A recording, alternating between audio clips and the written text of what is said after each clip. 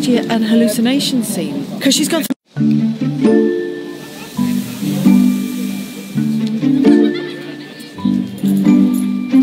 This is actually an hallucination scene because she's gone through a memory box with Charlie and it's thrown them back into 1989 and they just remember this terrible snowstorm and how so few nurses got in. So she wakes up in 2019 and there has been a snowstorm and her mind and everything's a bit confused so she's going into work. And now it's time to work.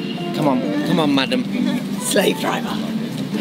It's great filming, and when you've got elemental situations like snow, it's kind of no acting required. You just be in the environment. The funny thing is, is that you know the weather. I think that day was about 18 degrees, but we all felt cold because it was snow, and so it had that effect on us. Then the heavens opened, and it's great because the fake snow just stayed on the ground, but it sort of went slushy. And then after minutes, we had this huge sunburst. You can't then go on to do the next close up shots because no way would they match.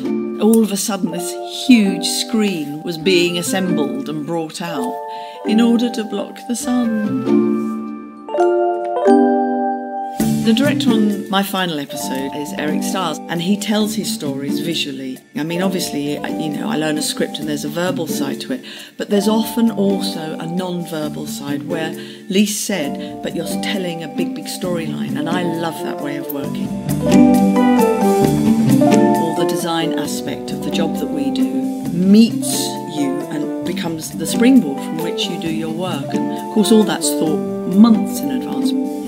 The tip of the iceberg, and the rest of it's all going on underneath.